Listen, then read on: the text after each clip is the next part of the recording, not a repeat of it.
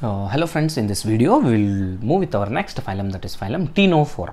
Okay, phylum Ctenophora. Why they are called as Ctenophora? Because Ctene in Greek, Ctene is nothing but comb. Phorus is a bearing. They are having comb bearing organisms or comb like structure is present. Hence they are called as a Ctenophora. They are completely aquatic and almost marine. They are transparent and light producing. They are luminescent organisms. They can they can also be called as luminescence. Why? Because they produce light. Hence they are called as luminescence. See here. Then coming to its general characteristics, they also show tissue grade of organization. So they show tissue grade of organization where cells have combined together to form tissues. Those tissues have combined. Uh, those tissues perform a particular function. Hence, they are called as a.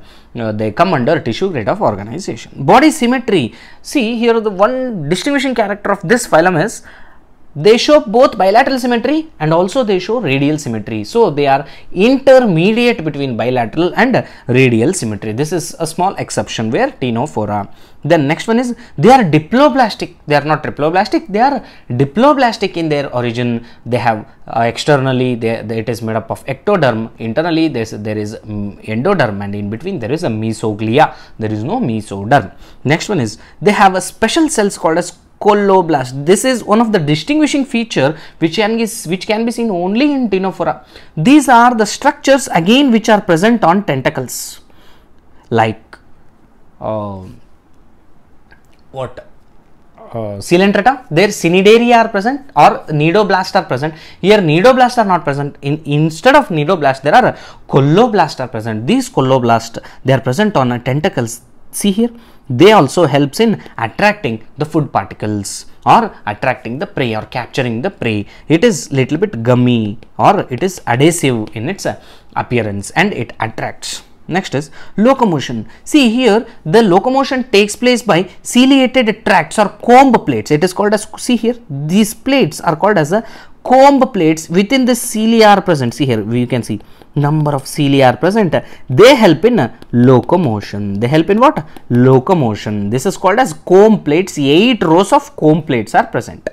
Then next one is digestion. Digestion is complete. Here digestion is complete. In Coelenterata digestion is not complete why? Because there is complete digestive structures are not present. Mouth and anus were uh, opening for mouth and anus is common, whereas here there is a complete development of uh, what digestive system. See here there is a mouth, there is a pharynx, and there is a, stomach, and there is an anal canal and there is an anus to come out. Hence, the digestive system is complete from mouth to anus, and also there is a special structure below the comb plates there is a structure called as statocyst here there is a small structure called as statocyst this is a sensory organ. This statocyst is called as what? A sensory organ which helps to maintain equilibrium or which helps to maintain balance. Hence it is called as a sensory organ. It is only present in this uh, ctenophora this is one of the distinguishing feature.